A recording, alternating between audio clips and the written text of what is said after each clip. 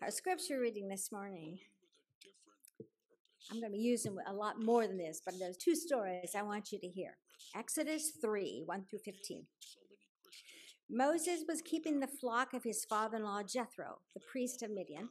He had led his flock beyond the wilderness and came to Horeb, the mountain of God. There the angel of the Lord appeared to him in the flame of fire out of a bush. And he looked, and the bush was blazing, yet it was not consumed. And Moses said, I must turn aside and look at this great sight and see why the bush is not burned up. And when the Lord saw that he had turned aside to see, God called to him out of the bush, Moses, Moses. And he said, Here I am. And God said, Come no closer. Remove the sandals from your feet, for the place on which you are standing is holy ground. God said further, I am the God of your father, the God of Abraham and Isaac and Jacob. And Moses hid his face, for he was afraid to look at God. And then the Lord said, I have observed the misery of my people who are in Egypt. I have heard their cry on account of their taskmasters. Indeed, I know their sufferings, and I have come down to deliver them from the Egyptians and to bring them out of that land to a good and broad land, a land flowing with milk and honey, to the country of the Canaanites, the Hittites, the Amorites, Perizzites, the Hivites, and the Jebusites. And the cry of the Israelites has now come to me. I have also seen how the Egyptians oppress them. So come, I will send you to Pharaoh to bring my people, the Israelites, out of Egypt. But Moses said to God, Ooh, who am I that I should go to Pharaoh and bring the Israelites out of Egypt? And God said, I will go with you, and this will be the sign for you that it is I who sent you. When you have brought the people out of Egypt, you shall worship God on this mountain. And Moses said, If I come to the Israelites and say to them, The God of our ancestors has sent me to you, they will ask me, What is the name? What shall I say to them? And God said to Moses, I am who I am. Thus you shall say to the Israelites, I am has sent you, has sent me to you. And God also said to Moses, Thus you shall say to the Israelites, The God, the Lord, the God of your ancestors, the God of Abraham, Isaac, and Jacob has sent me to you.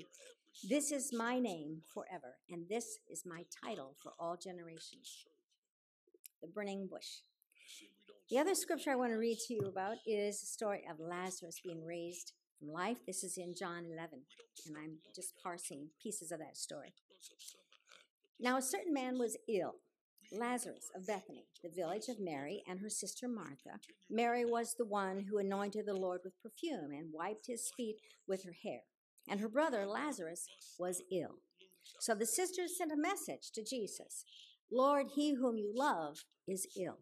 But when Jesus heard it, he said, This illness does not lead to death, but rather to God's glory, so that the Son of God may be glorified through it. Accordingly, though Jesus loved Martha and her sister and Lazarus, after having heard that Lazarus was ill, he stayed two days longer in the place where he was. Insert, we all know what happened. He died. Starting verse 38. And then Jesus, again greatly disturbed, came to the tomb.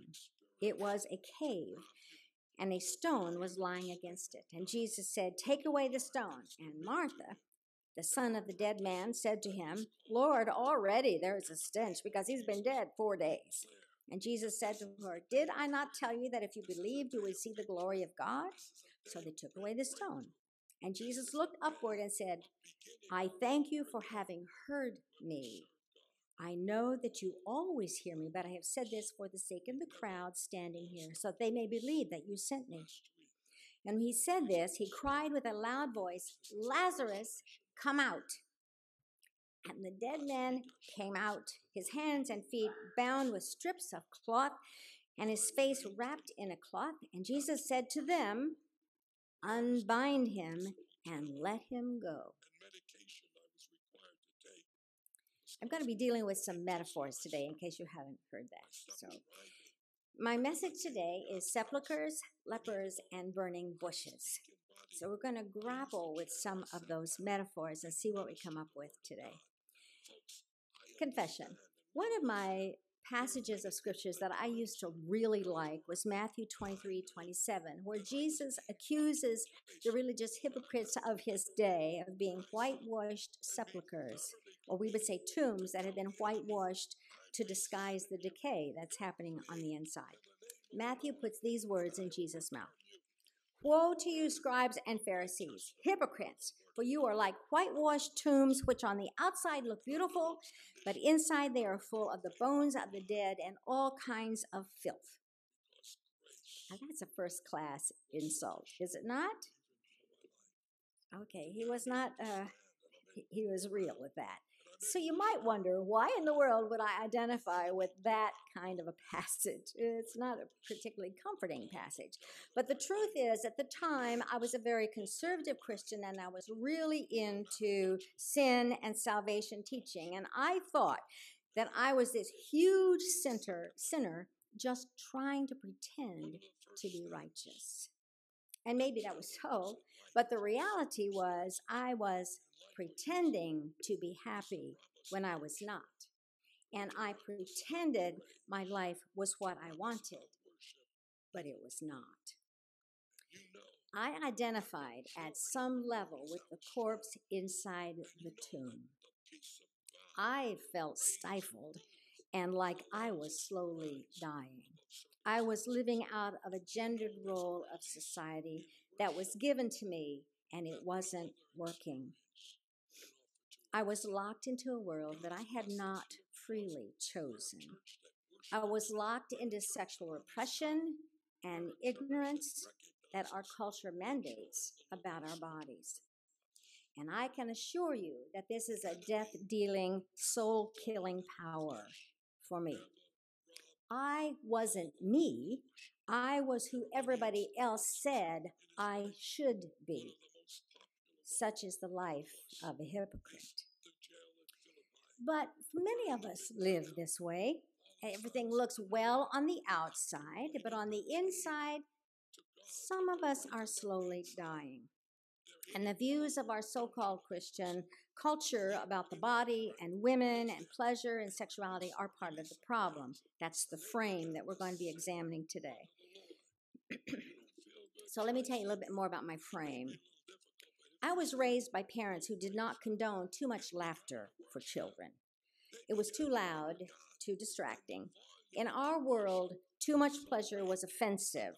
Instead, we were about work. This is called the Protestant work, work ethic, not play.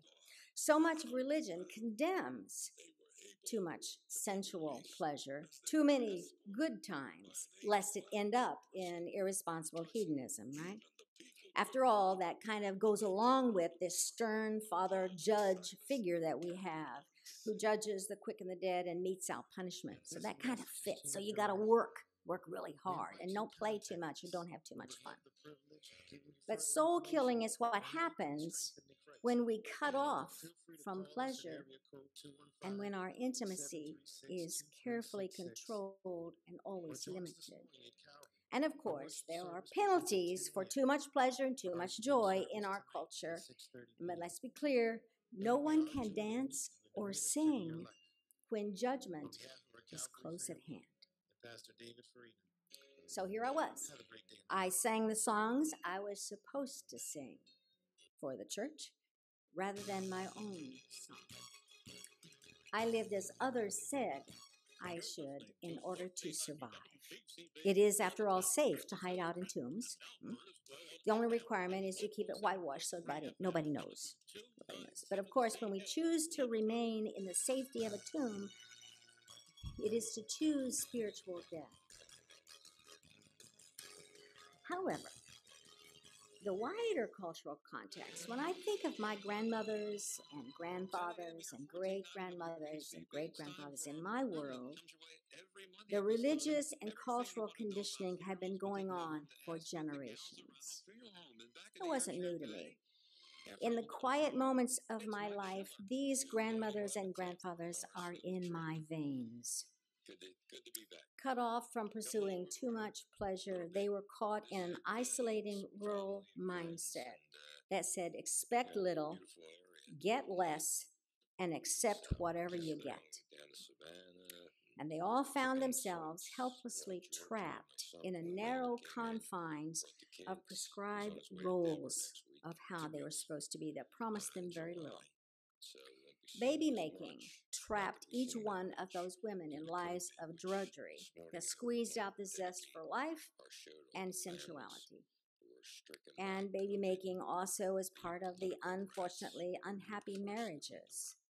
Childhood dreams were relinquished because of the baby making issue that could not be controlled.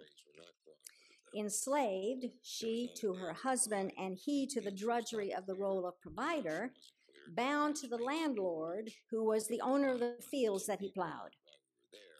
Then he was captured in an isolated manhood, far from his children and his heart's desires and his dreams. And a magic pill could not free them or me from the definitions of subservient womanhood, the carrier of man's desires, the breeder of progeny, the object to be preyed upon. My grandmother's names are barely remembered. I carry this in my brain, and it flows in my bloodstream. I'm going to ask Joy if you'd give me a glass of water. So, I realize this is all kind of negative, but I'm getting there. Just hang in there with me.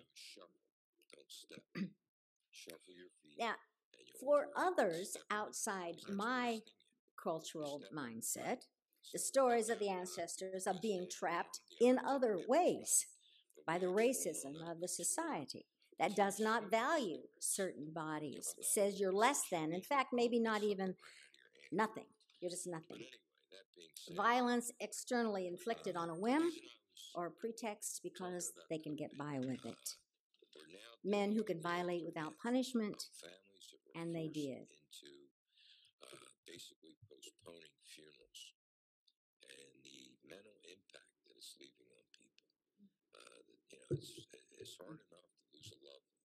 I don't care what age. you The blood of the ancestors were, who were poor and drowned, trodden in most of our ancestry, came from warring countries where the elite held all the purse strings, and only the few could escape to a new land to try to survive. Immigrants all just trying to find work that kept their body and soul together, a roof over their head, and bread on the table. Germans, by spending money Irish, on a funeral, Italians, we're gonna do cremation, Puritans, Mexicans, Guatemalans, El Salvadorans, even that has a strong Venezuelans, go the fact that on a lot of and on. say, "You know, Generations of traumatized people just trying to survive in an oppressive world where tyrants rule and the elite had long ago sold their soul to fattening to fatten their land holdings you know, and the portfolios. So they still run in our veins and they run in the church as well and our culture. And I have to wonder if some of the craziness right now and the insanity of the anti COVID vaccination movement and the anti democratic movement of, try- of refusing to accept democratically elected president is a part of the rebellion against that kind of containment, that kind of pain and suffering, the restrictions on pleasure, the emphasis on work, which is now mindless and low paying the limitations on intimacy, which is still very confined and repressive.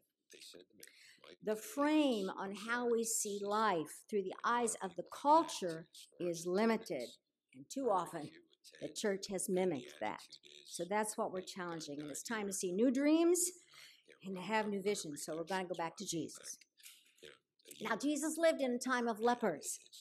And leprosy at the time, we read that they had to live apart from the community. They had to, they were expelled to leprous colonies, right?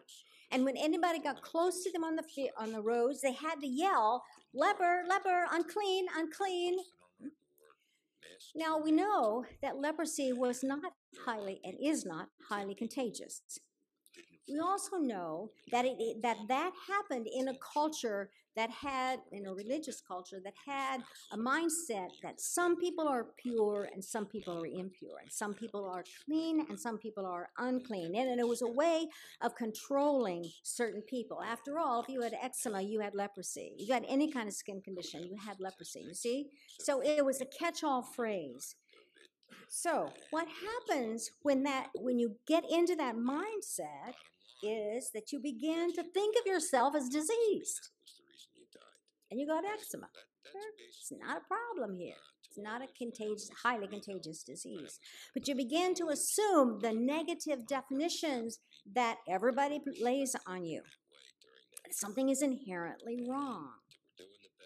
And unfortunately, much of the church has been invested in telling us that there's something wrong with you, sinners that you are. And by limiting pleasure, limiting and restricting bodies, and teaching that the body is a source of sin, unclean, unclean. Telling people we're all hopeless sinners in need of a drastic redemption keeps us from singing our own song.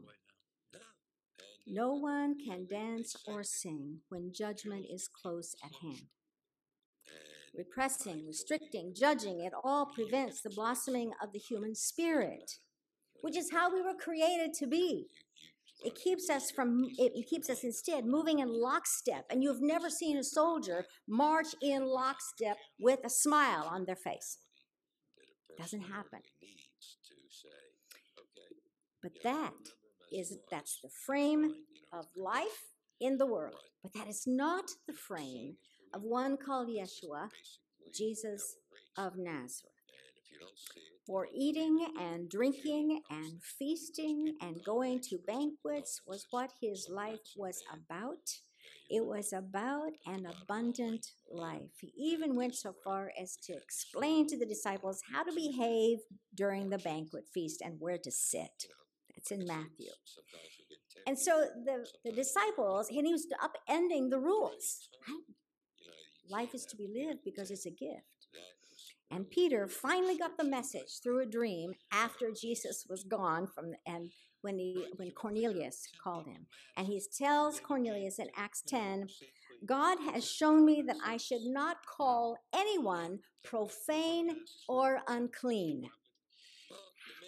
He got it. Took him a while, but he got it.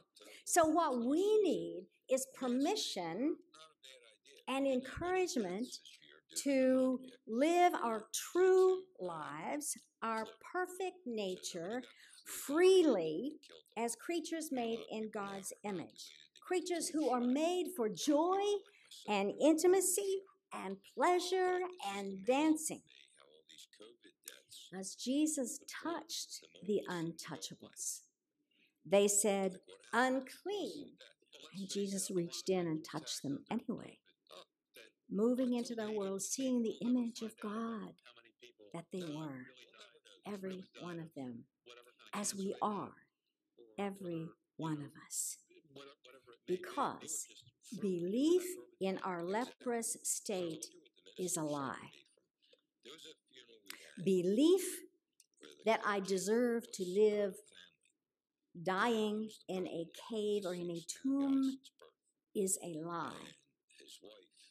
How could anyone ever tell you you were anything less than beautiful? How could anyone ever tell you you were less than whole? How could anyone fail to notice that your loving is a miracle? So, the truth is the unlimited frame. Laughter and music and joy is the gift of life. That's the rule, not the exception when you got your work done. It comes when we know that all is accepted, all is forgiven, all is well in the eyes of love, smelling the lilies of the field, being entranced by the birds of the air, touching the hands and shoulders of the neighbor and the friend. It's the rule of the sensual life of faith, not the exception. It is knowing that all is a gift. All this sensuality, all of this sexuality, gifts to be accepted and appreciated because it is good to live in these bodies. Showers of blessings all around us. And we need to emerge from our tombs into the daylight with a living with abandon and confidence in the goodness of the Creator. all is well in these bodies. All is well in these souls. Belief in our own inferiority and sinfulness and depravity of our sexuality is the lie. So, how do we move out from under this oppression that's in our brains? How do we move out from the death dealing ways of the tomb? How do we stop viewing ourselves as lepers who have to live with the label unclean? Lazarus, one of Jesus' friends, found himself inside a sepulcher, And Jesus called him by name and said, Come forth. And then Jesus waited to see what would happen, as did the crowds. So we too are called to an abundant life. Come out. of your tomb. Do we respond to the call of life by stepping out of these cultural prisons? From the lies we have told ourselves about our diseased spirit sexual selves? Can we take the risk to emerge from our tombs into the sunlight of a love that has no end?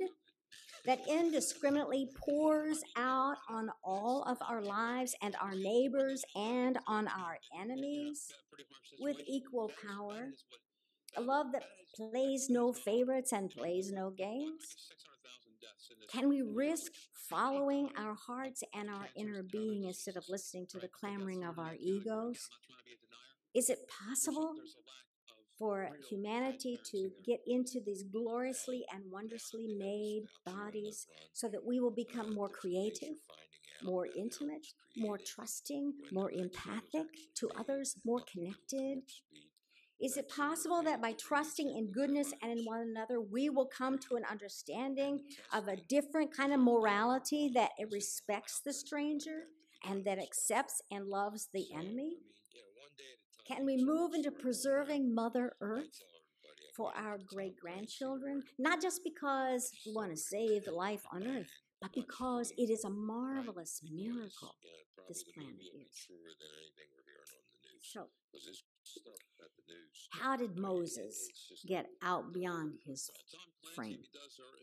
Enter the story of Moses. I'm going to suggest that he is was probably thinking he's a first class hypocrite, as did I. He had his secrets. He dared not confess. His entire childhood and his adult life had been a sham. He was a man who was hiding out. No doubt he felt he lived in a whited sepulcher. He had been bra- if he had been brave and open, he would have had to declare with the lepers unclean, because he had been born and enslaved to an enslaved Hebrew woman, mother who was the lowest of the low, and yet had been reared in a palace of privilege, and nobody knew. And he kept the secret because he didn't really belong there. And he had to keep a secret because the very people who were putting food into his Hebrew body were the very people who set into motion the killing machine that killed the babies of his childhood. He was painfully aware of what he was dealing with with the Pharaoh. Then one day it all spilled out, and he saw mistreatment of the Hebrews one too many times. And he reacted in rage and he murdered the perpetrator and then fled for his life. No longer safe in the Pharaoh's palace, he had escaped far away from the city life and he was hiding out in the pastures with the sheep. The blood of the ancestors ran in his veins. enslavement, powerlessness, brutality of a power hungry elite. Perhaps he too had adopted a saying expect little, get less, accept whatever you get. Because ultimately he was unclean. He had learned that lesson every day of his life while living in the palace. And then one day there was a burning bush. This is holy ground. The I am who I am says, Take off your shoes and listen because I have work for you to do. Yeah. Not unlike Jesus, who said to Lazarus, Come out of your tomb. Come out of the place of the shadows of death. Come out here. Take a deep breath. You got work to do. from any And the then media of, you Jesus know, also hey, said this to is the lepers, that people, X You're clean. Go to the temple and tell them you're clean. COVID coming in. Well, you Come out of your tombs, so, Jesus says, of your hypocrisy. and they're not looking to and move into an abundant sensual life of the Creator that has been made for you to enjoy. So Moses could have sat on his rock and ruminated about this strange thing he'd been seeing. He could have pondered the startling revelation for days, and he could rejoice at having been the recipient of this strange message. But Moses saw the burning bush and he did what he was told to do. He said, Here am I,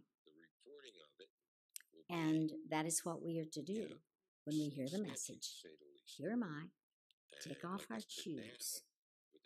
So, when I came out of my own hypocrisy and I stopped singing other people's songs, I began to sing my own.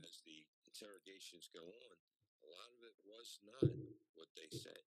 I laid aside the lie people backtrack and backstep. that I was unclean. And like I said, And I began looking and, you know, they're for sacred space. Videos of when he said this versus when he said that. Burning And then he's trying to bushes where holiness seems to in the meantime, like I be. Life, sounds, and places are sacred space to me. Take off your shoes, this is holy ground. It's in the living of our lives that mystery abounds. Snuggled in bed, all safe and warm, hearing the rumble of a loud thunderstorm, sitting by a campfire late at night. Hearing babies' laughter with innocent delight, burning bushes where holiness seems to be. Life, sounds, and places are sacred space to me. You take off your shoes, this is holy ground. It's in the living of our lives that mystery abounds. Flowers and gardens are in my reach. Drives to the country and a day on the beach. Here with my beloved by my side. Remembering that I am loved gives me such delight. Life, sounds, and places are sacred place to me. Take off your shoes. Be still now. come out, pick up This is holy Yeah, I mean, there are ground. merciful souls now. They can take care of themselves, but I'll probably never see them again. To see the sacred burning bushes in our lives Like I said, is to see the change in the frame, is to see the world through smoky haze of wonder loss is something and breathe in the presence of the holy in our nostrils. Can you see it? Can you smell it? I always said, like, Where is the I am who I am in your life, in your everyday, Believe as much ordinary life? You're only two years Is it the or two years laughter of children? So you're right that Is it the campfire? And your brother just passed away. Is it the garden? Is it the flowers? Is it the touch of a neighbor? It is difficult, and uh, Is it the you know, you have beloved by your side? Uh, Have you taken off your shoes uh, so you can like to call it- hear? I don't like to call it, but I the message? backdraft of life. I lost Can you hear your name being called? Mother, and my brother Have you left your cultural tombs and moved into the space that Uh, is you know, open to breathe brother-in-law, in my- the freedom uh, my mother that was is just passed ours from a pleasure brother too, but seeking, pleasure sharing creator? This love without end from the beginning of time till after we are gone. That's what I just thinking. the, or the, or the floodgates Simply open in your because. How could my house would anyone ever tell you that you were to walk by anything less than beautiful? The songwriter says. whatever. Talk about the birds. the Because with the help of those around us, you know, Right. It's that uh, unbind them you know, it and set them free, for all of us. right? it sure is. Jesus uh, said. And then cure the sick and raise the dead and cleanse the lepers and cast out demons in my name, he said. And you will do greater things than these, he said. Gone, nobody can hurt you anymore. Living in the sensual gift say of these bodies in the miracle of the planet, in this just don't wanna be holy, sacred ground. We take off our shoes and hear God calling our joke of, I names. guess comedians have used it There's work to be done. uh, For uh, God is uh, saying. Let my But, forgive me people for not getting go. Forgive me for not getting up. May it be so. Or David Brenner. Amen. Uh, I told you I was sick.